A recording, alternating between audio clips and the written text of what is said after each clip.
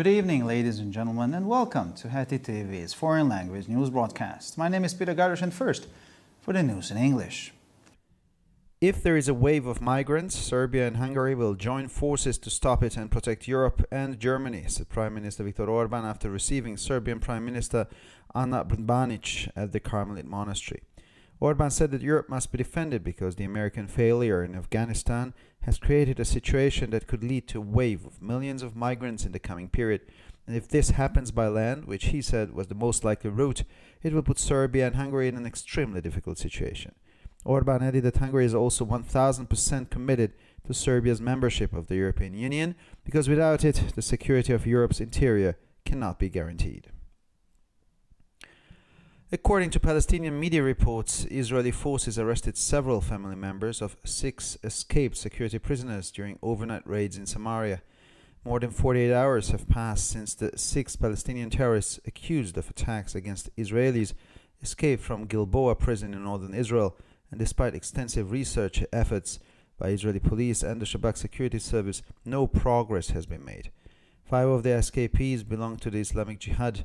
Among those arrested were reportedly relatives of Mahmoud and Mohammed al Arida, the community of Araba near Jenin.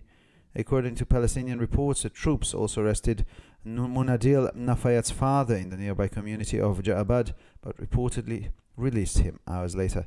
Palestinian sources also reported clashes between Israeli forces and Palestinians in the village of Araba. One Palestinian was reportedly wounded in the shooting. The Taliban are willing to establish relations with all countries except Israel, said the spokesman, as the extremist group announced its new government after taking control in Afghanistan. Speaking to a Russian news agency, spokesman Suhail Shahin said the Taliban were willing to cooperate with the United States after last month's swift, swift overthrow of a 20 year old Western backed government, just as President Joe Biden ended America's longest war by withdrawing Americans and their allies. Israel is out of question. Of course, we will not have any relationship with Israel. We want to have relations with other countries. Israel is not one of them, said Shaheen. The answer to the fourth wave of the pandemic is not quarantine but vaccination, said Chancellor Sebastian Kurz after meeting with the heads of the provinces in Vienna, Austria. The Chancellor stressed that in the future it would be the saturation of intensive care beds in hospitals that would be determine the necessary action rather than the infection rate per 7 days and per 100,000 inhabitants. In practice, this means that the more people need to be put on ventilators as a result of the coronavirus disease, the more stringent the measures will be. The first stage of a three stage action plan to this end, when intensive care bed capacity reaches 10% saturation, will come into effect on the 15th of September. In grocery stores, drugstores, pharmacies, and public transport, the wearing of the more protective FFP2 mask will be mandatory again, replacing the medical mask used until now. The validity of rapid antigen tests will be reduced from 48 hours to 24 hours. And finally, for the weather, it will remain almost unchanged sunny, calm, rainless, and uneventful. The temperatures will average around 8 to 13 degrees Celsius in the morning and between 25 and 29 degrees Celsius in the afternoon hours. For further news, please visit our websites at www.hetitv.com or breuerpress.com. Thank you for your attention so much for the news in English, and now for the news in German.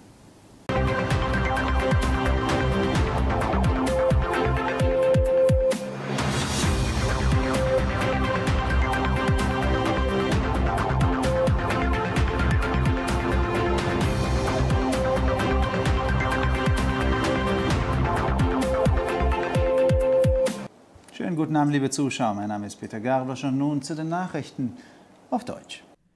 Sollte es zu einer Migrationswelle kommen, werden Serbien und Ungarn ihre Kräfte bündeln, um diese zu stoppen und Europa und Deutschland zu schützen, sagte Ministerpräsident Viktor Orban nach einem Empfang der serbischen Ministerpräsidentin Ana Brnabić im Karmelitenkloster.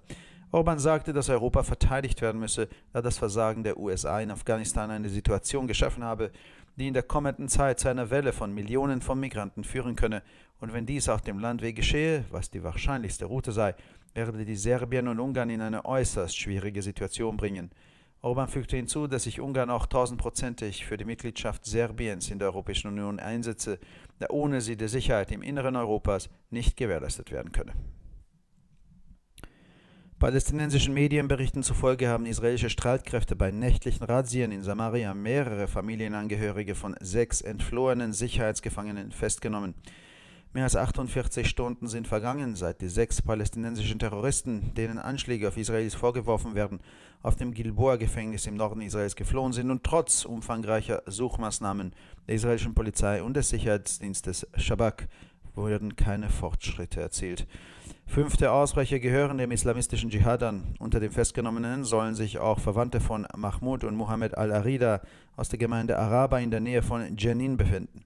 Palästinensischen Berichten zufolge nahmen die Truppen auch den Vater von Munadil Nafayat in der nahegelegenen Gemeinde Ya'abad fest, ließen ihn aber Berichten zufolge Stunden später wieder frei.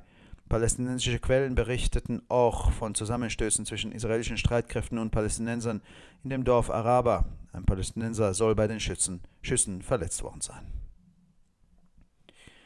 Die Taliban sind bereit, mit allen Ländern außer Israel Beziehungen aufzunehmen, sagte ein Sprecher, als die extremistische Gruppe ihre neue Regierung ankündigte, nachdem sie die Kontrolle über Afghanistan übernommen hatte. Gegenüber einer russischen Nachrichtenagentur sagte der Sprecher Suhail Shahin, die Taliban seien bereit, mit den Vereinigten Staaten zusammenzuarbeiten, nachdem im vergangenen Monat eine 20 Jahre alte, vom Westen unterstützte Regierung gestürzt worden sei und Präsident Joe Biden den längsten Krieg der USA durch den Abzug der Amerikaner und ihrer Verbündeten beendet habe. Israel kommt nicht in Frage. Natürlich werden wir keine Beziehungen zu Israel unterhalten. Wir wollen Beziehungen zu anderen Ländern haben. Israel gehört nicht dazu, sagte Shahin. Die Antwort auf die vierte Welle der Epidemie ist nicht Quarantäne, sondern Impfung, sagte Bundeskanzler Sebastian Kurz nach einem Treffen mit den Landeshauptleuten in Wien. Der Bundeskanzler betonte, dass in Zukunft nicht mehr die Infektionsrate pro sieben Tage und pro 100.000 Einwohner, sondern die Sättigung der Intensivbetten in den Krankenhäusern über den Handlungsbedarf entscheiden werde. In der Praxis bedeutet das, je mehr Menschen aufgrund einer Coronavirus-Erkrankung an ein Beatmungsgerät angeschlossen werden müssen, desto schärfer werden die Maßnahmen ausfallen.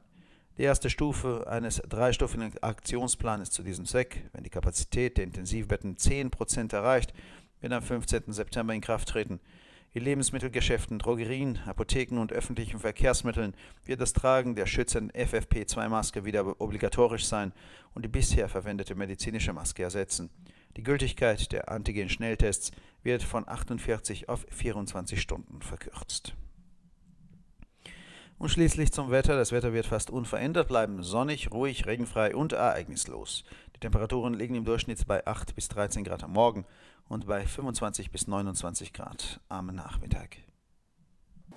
Für weitere Nachrichten besichtigen Sie bitte unsere Webseiten www.hettitv.com sowie www.breuerpress.com.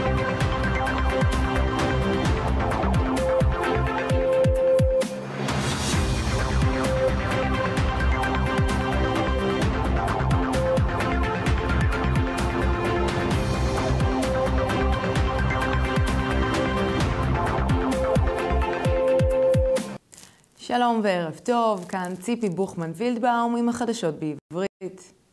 אם יהיה גל מהגרים, סרביה והונגריה יחברו כוחות לעצור ולהגן על אירופה וגרמניה. כך אמר ראש הממשלה ויקטור אורבן לאחר שקיבל את ראש ממשלת סרביה אנה ברנביץ' במנזר הכרמלית. ויקטור אורבן אמר כי יש להגן על אירופה מכיוון שהכישלון האמריקני באפגניסטן יצר מצב שבו גל של מיליוני מהגרים עלול להתרחש בתקופה הקרובה, ואם זה יקרה בנתיב יבשתי שלדעתו סביר ביותר, זה יפגע קשות בסרביה ובהונגריה. הוא הוסיף כי הונגריה מחויבת גם לחברותה של סרביה סרביה באיחוד האירופי עד אלף אחוז, מכיוון שבלעדיה לא ניתן להבטיח את ביטחונה של החלק הפנימי של אירופה, כך הדגיש ויקטור אורבן. דיווחים בתקשורת הפלסטינית אמרו כי כוחות ישראלים עצרו כמה מבני משפחה של ששת האסירים הנמלטים במהלך הפשיטות הליליות בשומרון. יותר מ-48 שעות חלפו מאז ששישה מחבלים פלסטינים הנאשמים בתקיפת ישראלים נמלטו ממאסר גלבוע בצפון ישראל, ולמרות מאמצי חיפוש נרחבים של משטרת ישראל והשב"כ, עדיין אין התקדמות. חמישה מהנמלטים שייכים לג'יהאד האסלאמי. בין העצורים היו לכאורה קרובי משפחה של מחמוד ומוחמד אל-ארידה, ליד ג'נין בקהילת הרבה. דיווחים פלסטינים מסרו כי הכוחות עצרו גם את אביו של מונדיאל נפיג'את בקהילת ג'באד הסמוכה, אך לפי הדיווחים שחררו אותו שעות לאחר מכן. מקורות פלסטינים דיווחו גם על עימותים בין הכוחות הישראלים לפלסטינים בכפר ערבה. על פי הדיווחים פלסטיני נפצע מהירי. הטליבן מוכנים ליצור קשר עם כל המדינות פרט לישראל, כך אמר אחד הדוברים כשהקבוצה הקיצונית הכריזה על ממשלתה חדשה לאחר ההשתלטות על אפגניסטן. בשיחתו עם סוכנות הידיעות הרוסית אמר סוהיל שאין כי הטליבן מוכנים לשתף פעולה עם ארצות הברית, וזה לאחר שממשלה בת 20 שנתמכת על ידי המערב הוכשלה במהירות בחודש שעבר, כאשר הנשיא ג'ו ביידן סיים את המלחמה הארוכה ביותר של ארצות הברית עם נסיגת האמריקאים ובנות בריתם. ישראל לא באה בחשבון. כמובן שלא תהיה לנו מערכת יחסים עם ישראל. אנו רוצים ליזום יחסים עם מדינות אחרות, אך ישראל אינה אחת מהן. התשובה לגל הרביעי של המגפה אינה הסגר אלא חיסון, כך אמר הקנצלר סבסטיאן קורץ לאחר פגישה עם מושלי המחוזות בווינה. הקנצלר הדגיש כי בעתיד, בהתאם לשיעור ההדבקה של שבעה ימים ומאה אלף תושבים, התפוסה של מיטות טיפול נמרץ בבתי החולים תקבע את הצעדים הדרושים, מה שבפועל אומר שככל שאנשים יותר זקוקים למכונות הנשמה כתוצאה ממחלת הקורונה, כך האמצעים יהיו מחמירים יותר. השלב הראשון של תוכנית הפעולה בת שלושה שלבים שפותחה בהתאם, הוא כאשר קיבולת המיטות מיטות בטיפול נמרץ תגיע ל-10% תפוסה, תיכנס לתוקף ב-15 בספטמבר. במקולות, בתי מרקחת ותחבורה ציבורית, מסכת FFP2 המספקת הגנה רבה יותר, תהיה שוב חובה במקום המסכה הרפואית שהייתה בשימוש עד כה. תוקפן של בדיקות אנטיגן מהירות תצמצם מ-48 ל-24 שעות. ועכשיו נעבור לתחזית מזג האוויר. מזג האוויר שלנו נשאר כמעט ללא שינוי. מזג האוויר בעיר שקט וללא גשם. הטמפרטורות חזויות להיות בין 8 עד 13 מעלות בבוקר ו-25 עד 29 מעלות אחר הצהריים. לחדשות נוספות, אנא בקרו באתרי האינטרנט שלנו, etitv.com או broyerpress.com. עד כאן החדשות, תודה שהייתם איתנו ושיהיה המשך ערב נעים.